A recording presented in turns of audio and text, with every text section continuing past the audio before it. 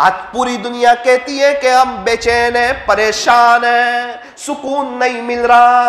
अरे सुकून ये पैसे में नहीं, सुकून चीज़ों में नहीं, सुकून बंगलों में नहीं, ये सुकून दोस्तों की मजलिसों में नहीं, ये सुकून मोबाइल में नहीं, ये सुकून दुनिया की रेल पहल में नहीं, ये सुकून ब्रांडेड गड़ी में नहीं, ये सुकून ब्रांडेड लिबास में नहीं। फिर ये सुकून कहा है? फरमाया कि ये सुकून एसी में भी नहीं एसी से तो चमड़ी को ठंडक पहुँचती है, दिल को नहीं पहुँचती, फिर सुकून मिलता कहा है? फरमाया कि सुकून अल्लाह की याद में है।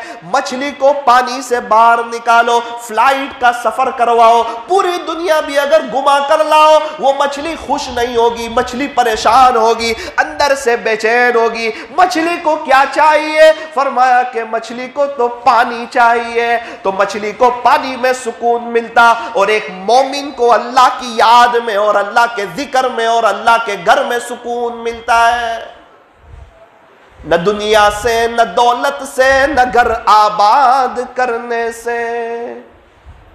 न दुनिया से, न दौलत से, न घर आबाद करने से तसल्ली दिल को होती है, खुदा को याद करने से।